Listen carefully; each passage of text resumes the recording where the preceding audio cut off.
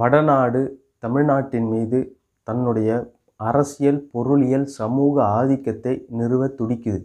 அதுக்கு எல்லா வகையான சூழ்ச்சிகளையும் தந்திரோபாயங்களையும் அது வந்து கையாளுது.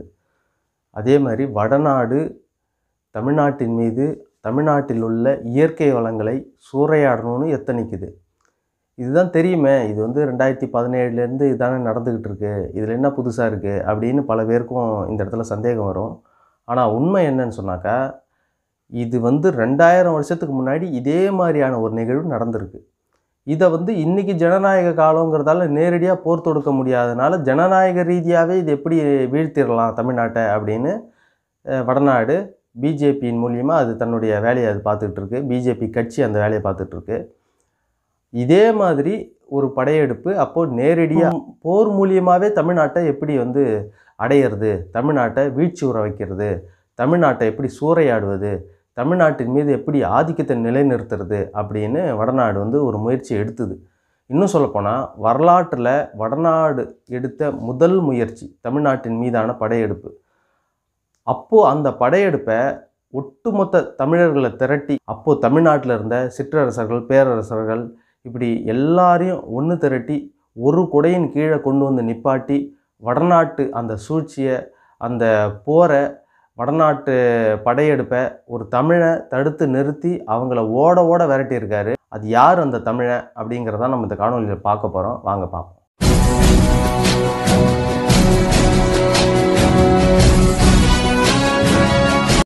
நிகர்தமிழ் பார்வையாளர்களுக்கு வணக்கம். இந்த முறை நம்ம காணொளி வந்து ஒரு புது வகையான ஒரு முயற்சியாக தான் இருக்குது என்னென்னா வழக்கமாக அரசியல் சார்ந்த விஷயங்கள் தான் வரும். இந்த முறை அரசியல் சார்ந்த விஷயம்னாலும் இது ஒரு வரலாற்று ரீதியிலான ஒரு விஷயத்தை தான் நம்ம இன்றைக்கி பேச இருக்கிறோம். அதனால தான் இந்த தலைப்பை இன்றைக்கி எடுத்திருக்கிறோம். அதுவும் இல்லாமல் இன்றைய காலகட்டத்துக்கு ரொம்ப ரொம்ப பொருந்தக்கூடிய ஒரு தலைப்பாக இது இருக்குது. அதனால தான் இதை எடுத்து இன்றைக்கி பேச வேண்டிய ஒரு சூழ்நிலையாக இருக்குது விஷயம் என்னென்னா இப்போ இந்த தலைப்புக்கு உள்ளே போகிறதுக்கு முன்னாடி வரலாறு ஒன்று நம்ம தெரிஞ்சுக்கிட்டு போகும்போது இன்னும் சுலபமாக இது வந்து புரியும் இன்னும் நம்மளுக்கு வந்து பிடிக்கும் பார்க்கக்கூடியவங்களுக்கு. என்னன்னா வடநாட்டில் இருந்த மிகப்பெரிய பேரரசு நமக்கு எல்லாருக்கும் தெரியும் மௌரிய பேரரசு. சந்திரகுப்த மௌரியர் அதை வந்து நிறுவினார்.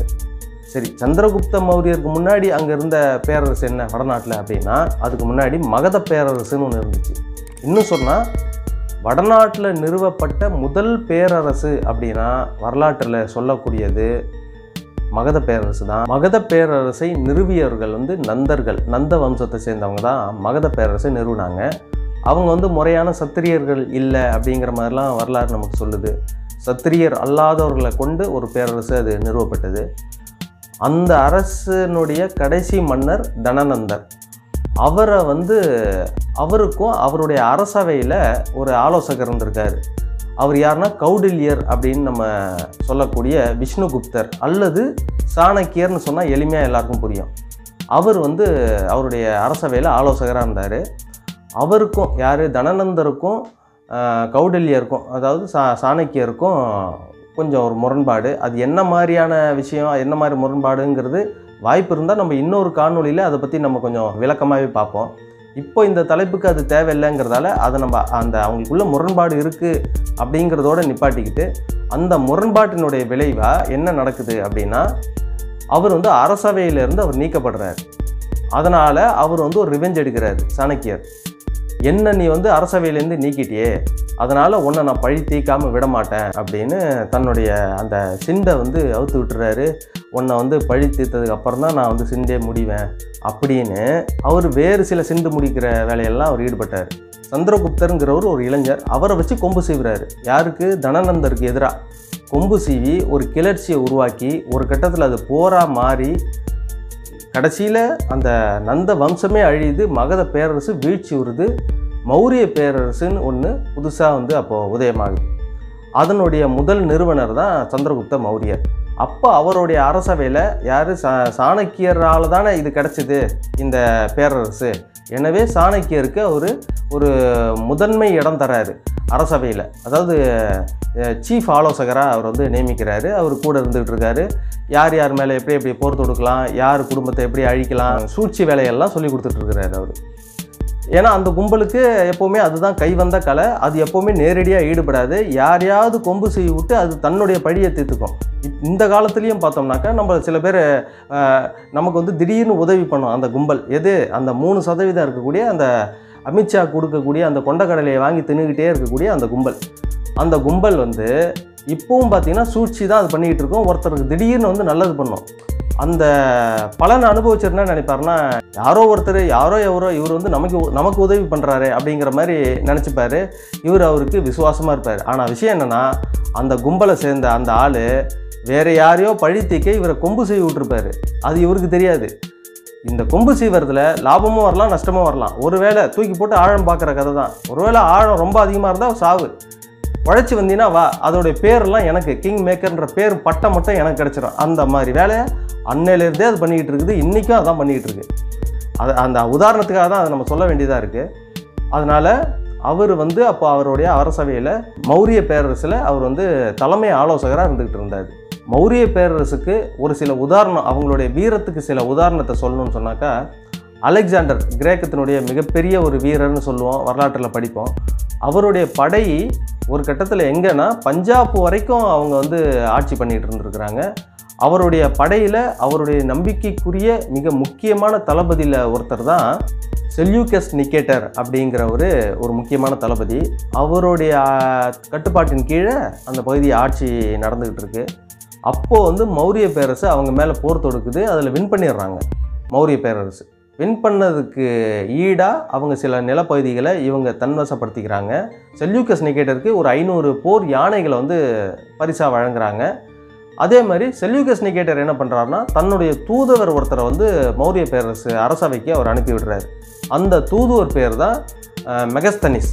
அந்த மெகஸ்தனிஸ் தான் சந்திரகுப்த மௌரியரை பற்றின விவரங்களையும் அந்த அவங்களுடைய ஆட்சியை பற்றியும் நிலப்பகுதிகளை பற்றியும் அவங்க ஆட்சி செஞ்ச நிலப்பகுதிகளை பற்றியும் அவங்களுடைய வீரத்தை பற்றியும் அவங்களுடைய நிர்வாகங்களை பற்றியும் எல்லாமே வந்து இண்டிகா அப்படிங்கிற ஒரு புத்தகத்தில் எழுதினாரு அப்படின்னு வரலாறில் நம்ம படிக்கிறோம்.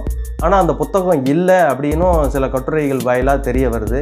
அது இருக்குதா இல்லையான்னு நமக்கு தெரியல. அப்படி யாராவது இருக்குதுங்கிற மாதிரி உறுதியான தகவல் தெரிஞ்சால் கீழே கமெண்ட் பாக்ஸில் சொல்லுங்கள் அப்போது அந்த அந்த அளவுக்கு ஒரு வீரமான ஒரு பேரரசு இன்னும் சொல்லப்போனால் இன்றைக்கி இருக்கக்கூடிய பாகிஸ்தான் ஆப்கானிஸ்தான் இந்த மாதிரி பகுதிகளையும் சேர்த்து ஏறக்குறைய குஜராத் வரைக்கும் வந்து மௌரிய பேரரசு ஆண்டுக்கிட்டு இருந்தது. ஒரு மிகப்பெரிய பேரரசுன்னு சொல்லலாம். அவ்வளோ பெரிய ஒரு பேரரசை அவங்க கட்டி அமைச்சிருந்தாங்க. அவ்வளோ பெரிய பேரரசை கட்டி அமைச்சவங்க ஒரு இவ்வளோ பெரிய பேரரசு நம்மக்கிட்ட இருக்கும்போது ஒரு தென்னாடு மட்டும் நமக்கு கீழே வந்து சிக்கலையே அப்படிங்கிற ஒரு எண்ணம் அவங்களுக்குள்ளே இருந்தது. அதனுடைய விளைவாக தான் தமிழ்நாட்டின் மீது அவங்க படை படையை எடுத்துகிட்டு திரட்டிக்கிட்டு வராங்க.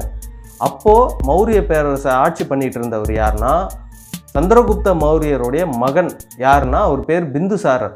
பிந்துசாரர் யாருன்னா அசோகரனுடைய அப்பா. பிந்துசாரருடைய மகன் தான் அசோகர். சாம்ராட் அசோகன் நம்ம படிக்கிறோம் இல்லைங்களா? அவர். பிந்துசாரர் ஆட்சி பகுதியிலேயே உஜ்ஜயினுடைய கவர்னராகவும் அசோகர் இருந்திருக்கிறார் அந்த நேரத்துலலாம். அந்த நேரத்தில் பிந்துசாரர் என்ன பண்ணுறாருன்னா தன்னுடைய ஆட்சி பகுதியை விரிவாக்கம் பண்ணணும்னு நினைக்கிறாரு. அதுக்காக தன்னுடைய படையிலேருந்து ஒரு பிரிவை வந்து அவர் தெற்கு பகுதியை நோக்கி அனுப்பி விடுறாரு. அப்போ தெற்கை நோக்கி அவருடைய படை வந்துக்கிட்டு இருக்கு. வந்துக்கிட்டு இருக்கும்போது அவங்களுடைய எல்லைக்கு உட்பட்ட ஆட்சி நிர்வாகத்துக்கு உட்பட்ட சிற்றரசுகள் நிறையா இருக்கும் பாருங்கள் அவங்கெல்லாம் அவங்களில் சில பேரும் கூட சேர்ந்து வராங்க. அவங்களையும் அவங்க கூட கூட்டிக்கிட்டு தான் வராங்க. கோசர் படை. அப்படின்னு ஒரு படையும் வடுகர் படை அப்படிங்கிற படையும் அவங்களோட சேர்ந்து வருது. இந்த படைக்கு உங்களால் பதில் சொல்ல முடியுமா? அப்படிங்கிற மாதிரி தான் அப்போ அவங்க நினச்சிட்டு இருந்திருக்கிறாங்க அதனுடைய விளைவாக அவங்க வந்து வந்துட்டாங்க.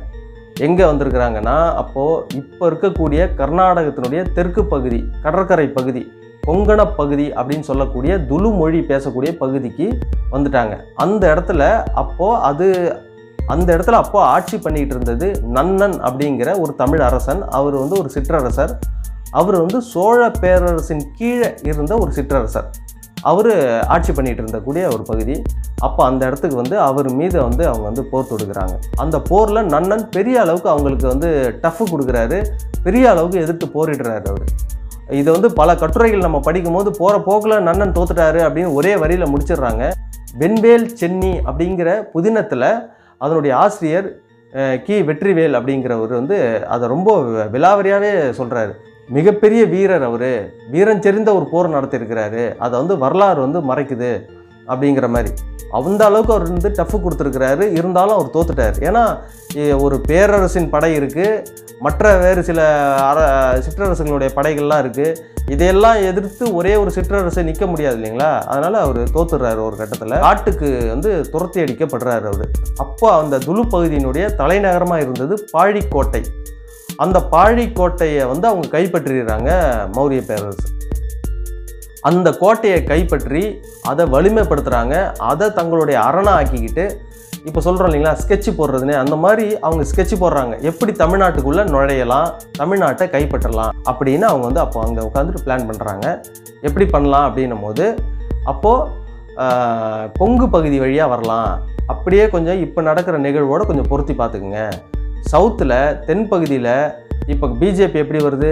கர்நாடகாவை பிடிச்சதுனால தமிழ்நாட்டையும் பிடிக்க முடியும்னு ஒரு நம்பிக்கை பிறகுது பார்த்தீங்களா? அதே மாதிரி தான் அப்போது கர்நாடகத்தில் ஆண்ட அப்போ ஒரு தமிழ் மன்னன் ஒரு சிற்றரசன் அவனை வெற்றி கொண்டதனுடைய விளைவு. அடுத்தது தமிழ்நாட்டை பிடிக்கலாம். எப்படி பிடிக்கலாம்? கொங்கு பகுதி வழியாக பிடிக்கலாம். நல்லா புரிஞ்சுங்க. இப்போது கொங்கு நாடை பிரிக்கணும்னு சொல்கிறாங்க பார்த்தீங்களா? இதை பொறுத்திங்க. கொங்கு பகுதி வழியாக தான் நுழைய முடியும்னு அப்போவே ரெண்டாயிரம் வருஷத்துக்கு முன்னாடி இதே பிளான் தான். ரெண்டாயிரம் வருஷமாகவும் இந்த கும்பல் வந்து இன்னும் அப்டேட்டே ஆகாமல் இருக்குது பாருங்கள் நம்ம அப்டேட் ஆகிறோம். ஆனால் இவங்க இன்னும் அப்டேட்டே ஆகலை. அதே பழைய ஃபார்முலாவே கொண்டுட்டு வராங்க. அதே மாதிரி கொங்கு பகுதி வழியாக வரலாம் அப்படின்னு நினைக்கிறாங்க. அப்போ கொங்கு பகுதியை ஆண்டுகிட்டு இருந்த ஒரு சிற்றரசர் அவருடைய பேர் வந்து பழையன் மோகூர் அப்படிங்கிறது. அதே மாதிரி சோழர்களுடைய அந்த எல்லை பகுதியை ஆண்டுகிட்டு இருந்த ஒரு அரசர் பேர் அழுந்தூர் வேல் திதியன். அப்படிங்கிற ஒரு சோழர்களுடைய எல்லை பகுதியை ஆண்டுகிட்டு இருந்தார். இவங்க ரெண்டு பேர் மேலேயும் அவங்க போர் தொடுக்கிறதுன்னு முடிவு பண்ணி போர் தொடுக்கிறாங்க. அதில் வந்து இந்த முறை வந்து இவங்க வந்து பெரிய அளவுக்கு டஃப் கொடுக்குறாங்க. அதை யார்? இதுக்கு முன்னாடி நன்னனை விட ஒரு கட்டத்தில் இவர் இவங்க வந்து பெரிய அளவுக்கு டஃப் கொடுக்குறாங்க. பெரிய அளவுக்கு போர் நடக்குது. அந்த ஒரு கட்டத்தில் என்ன ஆகுது? அந்த போரினுடைய விளைவுனா மௌரிய படைகள் வந்து பின்வாங்குற அளவுக்கு போகுது. அந்த போரினுடைய உச்சம். அது வந்து மௌரிய பேரரசு அதாவது ஹெட் குவார்ட்டருக்கு வந்து அவங்களுக்கு வந்து ஒரு பெரிய அளவுக்கு இது ஒரு தலைவலியாகி போச்சு. ஒரு ஈகோ வந்துடுச்சு அவங்களுக்கு. இப்போ இங்கே தமிழ்நாட்டில் அப்படியே கொஞ்சம் இப்போ இருக்கிற நிகழ்வோட பார்த்துக்குங்க. இப்போ பிஜேபி வந்து இங்கே நோட்டாவுக்கு கீழே இருக்குது. ஒன்றியம் இதுதான் அரசியல் சாசனம் சொல்லுது அப்படிங்கிறோம். ஒன்றியம் சொன்னீங்கன்னா நாங்கள் கொங்கு பகுதியை பிரிப்போம். தமிழ்நாட்டின் மீது இந்தியாவை வச்சு போர் தொடுப்போம். சோஷியல் மீடியாவில் எழுதுறாங்களா இல்லையா? இந்த பிஜேபிக்காரங்க தமிழ்நாட்டின் மீது போர் தொடுப்போம்னா இப்போ தமிழ்நாட்டில் இருக்கிறது யார்? நீயும் உன் குடும்பமும் தான் இருக்குது. உன் மேலே நீயே போர் தொடுத்துப்பியா ஆ- அவங்களுக்கு அதான் தெரியல பாருங்க. தமிழ்நாட்டின் மீது போர் தொடுப்போம். என் குடும்பத்தை நானே அழிப்பேன். என் பொண்டாட்டியை நானே கொல்லுவேன். என் அம்மாவை வெட்டி வீசுவேன். என் அப்பனை கொன்று தீத்துருவேன். எதுக்கு? எதுக்குன்னா நான் இந்துத்துவாடா அப்படின்றாங்கல்ல அதே தான் அந்த வெறி பாருங்க. தான் அந்த கட்சி தோத்துடுச்சிங்கிறதுனுடைய வெறி அவங்களுக்கு வந்து என்ன பேசுகிறோம் என்ன எழுதுறோன்றது கூட தெரியல. தன் தன்னைத்தானே வெட்டிப்பான் போல இருக்குது அந்த அளவுக்கு பைத்தியக்காரனாக இருக்கான் பார்த்தீங்களா அதே மாதிரி தான் எவனுமே ஒருத்தன் தன்னை பெரிய ஆளுன்னு நினச்சிக்கிட்டு இருந்தானா அவன் அவன் யானைக்கும் அடி சறுக்குன்ற மாதிரி சில நேரத்தில் சறுக்கு செய்யும். அதனுடைய விளைவு வந்து அந்த ஈகோ வந்துடும் பைத்தியக்காரனாக ஆகிடுவான் அதே மாதிரி மௌரிய பேரரசனுடைய ஹெட் குவார்ட்டருக்கு தகவல் போன உடனே இவ்வளோ பெரிய நிலப்பகுதியை கட்டி ஆண்டுகிட்டு இருக்கோம். தென்பகுதியில் மட்டும் நம்மளுக்கு வந்து இப்படி ஒரு தோல்வி கிடைக்குதா? அதை அவங்களால ஏற்றுக்க முடியல. உடனே என்ன பண்ணுறாங்க தங்கள்கிட்ட இருக்க கொஞ்சம் படையை மட்டும் வச்சுக்கிட்டு ஒட்டுமொத்த வடநாட்டு படையும் அவங்க வந்து அனுப்பி விடுறாங்க. தமிழ்நாட்டின் மீது போர் தொடுக்கு. அப்போ பாருங்கள் ஒரு எவ்வளோ பெரிய போராக இருந்திருக்கும்னு. எவ்வளோ பெரிய பேரரசுன்னு நம்ம சொல்லிட்டோம். அந்த பேரரசு தமிழ்நாட்டின் மீது போர் தொடுத்திருக்கு ரெண்டாயிரம் வருஷத்துக்கு முன்னாடி. கிமு இரண்டு மற்றும் மூன்றாம் நூற்றாண்டுக்கு இடைப்பட்ட பகுதி. அப்போ நடந்திருக்கு சங்க காலத்தில் நடந்திருக்கு இந்த போர். அப்போ எவ்வளோ பெரிய போராக நடந்து இருந்திருக்கும் எவ்வளோ பெரிய படையை திரட்டிக்கிட்டு வந்திருப்பாங்க ஒட்டுமொத்த வடநாடே கிளம்பி வந்திருக்கு தமிழ்நாட்டின் மீது போர் தொடுக்க. தமிழ்நாட்டை சிதைக்க தமிழ்நாட்டை கைப்பற்ற தமிழ்நாட்டின் மீது ஆதிக்கத்தை செலுத்த. அப்போது இந்த சிற்றரசுகளே இவங்களை வின் பண்ணுறதை அவங்களால ஏற்றுக்க முடியல. ஒரு கட்டத்தில் இந்த சிற்றரசுகள்லாம் யாருடைய கட்டுப்பாட்டு கீழே இருக்கிறாங்கன்னா சோழர்களுடைய கட்டுப்பாட்டு கீழே இருக்கிறவங்க. அப்போ சோழர்களுடைய தலைவர் யாருன்னா பக்ரேர் இளஞ்சேட் சென்னி அப்படிங்கிறவர். இந்த பக்ரேர் இளஞ்சேட் சென்னி அப்படிங்கிறவர் யாருன்னா? தி கிரேட் கரிகால சோழனுடைய தகப்பன் அவங்களுடைய அப்பா. அவர் தான் அவர் வந்து அப்போ ஆட்சி பண்ணிகிட்ருக்கார் அப்போ அவர் வந்து ஒரு முடிவு எடுக்கிறாரு. கேப்சர் பண்ணிடுவாங்க அப்படின்னு அவர் நினைக்கிறாரு. அப்பா து கா அப்பா துறையார் வந்து தென்னாட்டு போர்க்களங்கள்னு ஒரு புத்தகம் எழுதியிருக்காரு.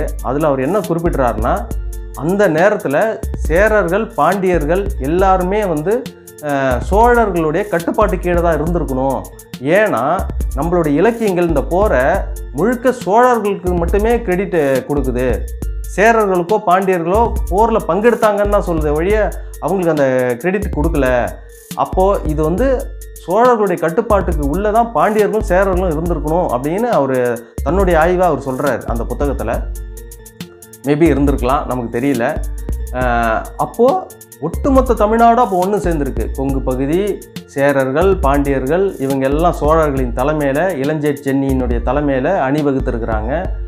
இளஞ்சேர் சென்னி அப்போது இதை வந்து முறியடிக்கணும்னா மிகப்பெரிய ஒரு படையை வந்து நம்ம திரட்டணும் அப்படின்னு இவரும் வந்து பெரிய அளவுக்கு படையை திரட்டி வச்சிட்ருக்காரு கரும்பெண்ணை நதிக்கு வடக்கே. அப்போது அங்கே மோரியர் படைகள் வடுகர் படைகள் எல்லாம் சேர்ந்து போரிட்டுக்கிட்டு இருக்குது இந்த சிற்றரசர்களோட. அப்போ தான் அவங்க வந்து பெரிய படையை வந்து ஒட்டுமொத்தம் பெரும்படையை வந்து அனுப்பி விடுறாங்க மௌரியர்கள். அந்த படை மைசூர்லேருந்து தமிழ்நாட்டுக்கு வரக்கூடிய பகுதிகளில் மிகப்பெரிய அளவுக்கு மலைகளும் முகடுகளும் இந்த மாதிரி இருந்திருக்கு. இப்போ வீரர்களுக்கு வந்து சாப்பாடெலாம் எடுத்துகிட்டு வரணும் இல்லைங்களா? அப்போ அந்த வண்டி இதெல்லாம் எடுத்துகிட்டு வரணும் தேர் எடுத்துகிட்டு வரணும் பல மிருகங்களை எடுத்துகிட்டு வரணும். இப்போ குதிரைப்படை யானைப்படை இதெல்லாம் கொண்டு வரணும்னா அதுக்கு வந்து ஒரு சில வருஷங்கள் கூட ஆயிருக்கும் அப்படின்னு தான் அப்பாத்துறையார் வந்து தென்னாட்டு போர்க்களங்களில் குறிப்பிடுறாரு. இது வந்து ஏதோ மாதக்கணக்குலேயோ வாரக்கணக்குலேயோ முடிஞ்ச போர் இல்லை. அந்த அதுக்கு வந்து அவங்க அங்கேருந்து வந்த படைக்கு பாதையை போடுறதுக்கே சில பல வருஷங்கள் ஆயிருக்கும் அப்படின்னு தான் சொல்கிறாரு அவ்வளோ பல வருஷங்கள் அவங்க பாதையை போட்டு மலை மோடுகள்லாம் சரி பண்ணி அவங்க வந்து தங்களுடைய படையை கொண்டு வந்திருக்காங்கன்னா அப்போ எந்த அளவுக்கு ரிவெஞ்ச் எடுத்திருக்கிறாங்கன்னு பாருங்கள் தமிழ்நாட்டை விடவே கூடாதுன்னு ரிவெஞ்ச் எடுத்துகிட்டு வந்திருக்கிறாங்க. பெரும் படையை எடுத்துக்கிட்டு கரும்பெண்ணை நதிக்கிட்ட வந்துட்டாங்க.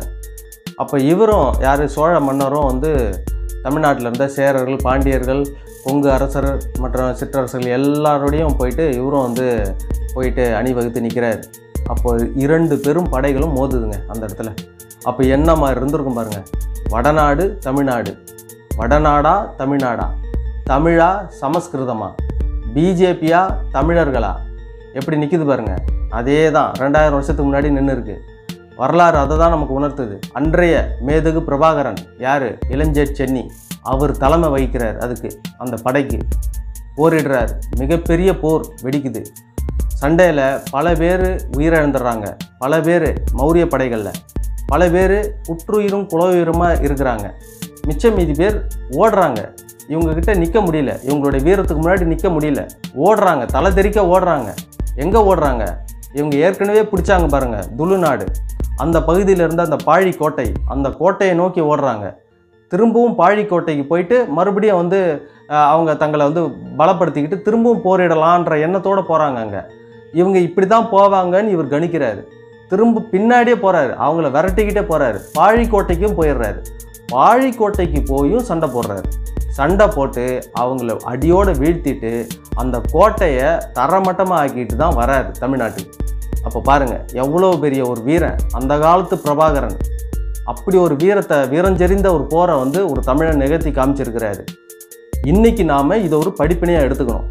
தமிழ்நாடு வடநாட்டுக்கு ஒரு காலமும் அடிமையாகாது. தமிழ்நாட்டை நீங்கள் நினச்சி கூட பார்க்கக்கூடாதுன்னு அன்றைக்கே அவர் சவால் விட்டு சண்டை பண்ணியிருக்கிறாரு. நம்மளுடைய தலைவர் நம்மளுடைய நம்மளுடைய சோழ மன்னர் இளஞ்சட் சென்னி. இளஞ்சட் சென்னிக்கிட்டேருந்து நாம் கற்றுக்கக்கூடிய பாடங்கிறது இதுதான். தமிழ் இனத்துக்குள்ளே எவ்வளவோ முரண்பாடுகள் இருக்கலாம். எல்லாமே உள் முரண்பாடுகள் தான். ஒரு அம்மா அப்பா பெற்ற குழந்தைங்க கிட்ட நாலு பேர் குழந்தைங்க இருக்காங்கன்னா நாலு குழந்தைங்களும் ஒரே மாதிரி இருக்கிறது இல்லை. அவங்களுக்குள்ள சின்ன சின்ன பிரச்சனைகள் இருக்க தான் செய்யும். ஆனாலும் ஒரு பொது எதிரின்னு வந்த உடனே எல்லா பிள்ளைங்களும் ஒன்று சேர்ந்து தங்களுடைய குடும்பத்தை தங்களுடைய வீட்டை பாதுகாக்கிற மாதிரி தமிழ் தேசிய இனத்தை அன்னைக்கு பாதுகாத்திருக்கிறாரு இளைஞர் சென்னி. தமிழ் தேசிய இன போராட்டமாக தான் அன்றைக்கி நடத்தி காமிச்சிருக்காரு. வடநாட்டுக்கு எதிரான ஒரு தமிழ் தேசிய போர் அன்றைக்கி நடந்திருக்கு. இரண்டாயிரம் வருஷ வருஷத்துக்கு முன்னாடி நடந்திருக்காரு. அப்படின்னா இது நமக்கு ஒரு உத்வேகம் கொடுக்குது இல்லைங்களா? இது நமக்கு வேணும். தமிழர்கள் இந்த படிப்பினை பெறணும். நமக்கு திரும்ப திரும்ப சிவாஜியை பற்றி தெரியுது. ஆனால் இளைஞர் சென்னியை பற்றி யாருக்கு தெரியுது? தமிழர்கள் படிக்கணும். இதெல்லாம் படிக்கக்கூடாதுன்னு இங்கே இருக்கக்கூடிய இந்துத்துவ கும்பல் மதம் சார்ந்து அவங்களுக்கு வடநாட்டு தலைவர்கள் வடநாட்டு அரசர்கள் தான் அரசர்கள். தமிழ்நாட்டு அரசர்களை பற்றி அவங்களுக்கு கவலை இல்லை பேசவும் மாட்டாங்க. அல்லது அவங்க ஏதாவது ஏதாவது அவங்க ஏதாவது மதம் சார்ந்து செயல்பட்டு இருந்தால் அதை மட்டும் தான் சொல்லிட்டு இருப்பாங்க. ஒரு வீரம் செறிந்த போராட்டம் ஒரு இனத்தை பாதுகாக்கக்கூடிய போராட்டத்தை ஒரு தமிழ் மன்னன் நடத்தி காமிச்சிருக்காருன்னா இதை நம்ம தெரிஞ்சுக்க வேணாமா? கண்டிப்பாக தெரிஞ்சுக்கணும். இது படிங்க தயவு செய்து படிங்க. இதை வந்து வெண்வேல் சென்னி அப்படிங்கிற பேரில் மூணு புதினமாக மூணு தொகுதியாக இதை வந்து வெளியிட்டிருக்காரு. ஆத்தர் அதனுடைய ஆத்தர் வந்து வெற்றிவேல் அப்படிங்கிறவர். தயவுசெய்து படிங்க. நான் வந்து அதை குறிப்புக்கு தான் பயன்படுத்திக்கிட்டேன். முழுமையாக நானும் படிக்கலை. ஏன்னா ரெண்டாயிரம் பக்கம் இருக்குது மூணு தொகுதிகள் அது.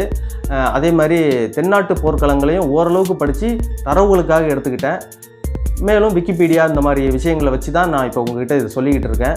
இது எல்லாமே கொலாஜ் பண்ணி தான் சொல்கிறேன் இதை படிங்க. தயவுசெய்து வாய்ப்பு இருக்கிறவங்க படிங்க. இல்லை கட்டுரைன்னு கேட்டல் நன்று அப்படிங்கிற மாதிரி நம்ம சொல்கிறதே கேட்கணும்னு விருப்பப்படுறவங்க கேட்டு தெரிஞ்சுக்குங்க. அதனால் இதிலேருந்து நம்ம தெரிஞ்சுக்க வேண்டியது நம்மளுடைய பாட்டன்மார்கள் எப் எந்த அளவுக்கு நம்ம இனத்தை பாதுகாத்துருக்காங்க. எனவே இனிமேலும் நாம் அந்த பாட்டன்கள் வழியில் வந்த பேரன்களாக நாம் நம்ம தமிழ் தேசிய இனத்தை தமிழ் தேசத்தை கட்டி காப்பாற்றணும் அப்படின்னு உறுதி எடுத்துக்கணும்னு சொல்லிட்டு இதோடு இந்த காணொலியை நிறைவு செய்துக்கிறோம். நன்றி வணக்கம்.